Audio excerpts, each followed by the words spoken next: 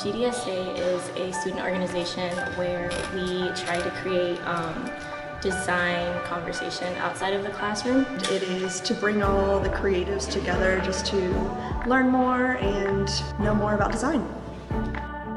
It's nice to be with people who are like-minded and who get design, understand what you're going through. You're all going, learning the same thing, same teachers and stuff. We can all really relate to each other even if we have different styles. We have a common factor in like design, which is really cool. People should join because you do get to learn a lot from being with those different people. Like I said, styles change and you can learn things from one another. But I feel like GDSA is a safe place for everyone where they can like learn new things and um, learn new skills as well.